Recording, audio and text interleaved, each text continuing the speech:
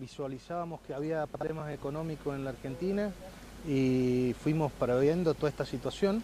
Esperemos poder resolver todo lo económico porque la verdad que la inflación eh, viene creciendo rápidamente y está afectando a las provincias, a los municipios y, sobre todo a los ciudadanos. ¿no? ¿Han asegurado los fondos entonces para aguinaldo y demás? Nosotros estamos trabajando para tener y que no falte nada, ¿no? Siempre tratamos de ir eh, viendo lo que va a suceder en el futuro. No, tenemos varitas mágicas, pero podemos, podemos ir preveyendo toda esta situación que la verdad de mes a mes y por lo que vienen diciendo que el mes próximo va a haber un poco más de inflación que este mes, así que vamos viendo y evaluando esa situación. En función de esa experiencia que ya se tiene, ¿qué le va a pedir al gobernador en este que es el primer Todo lo que podemos pedirle, ¿no? La verdad que nunca voy a dejar de gestionar porque todo lo que yo pueda llevar o que nos pueda brindar el gobernador eh, le va a hacer bien a nuestro departamento, a nuestros vecinos.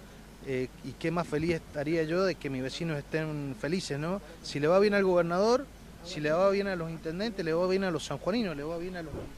Que estamos todos, que es una situación delicada económica por la que pasamos todos y cada uno de nosotros hasta en los hogares nuestros.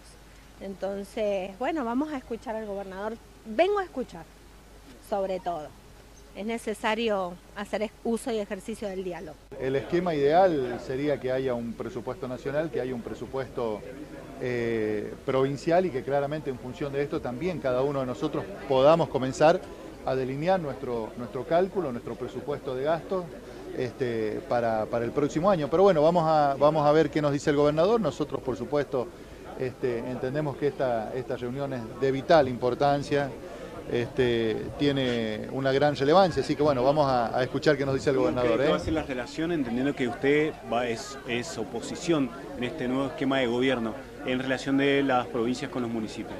A ver, somos oposición en, términos políticos.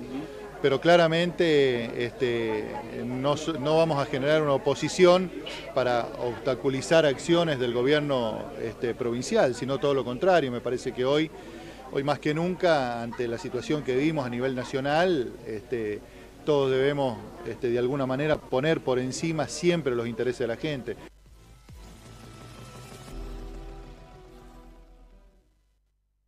Continuando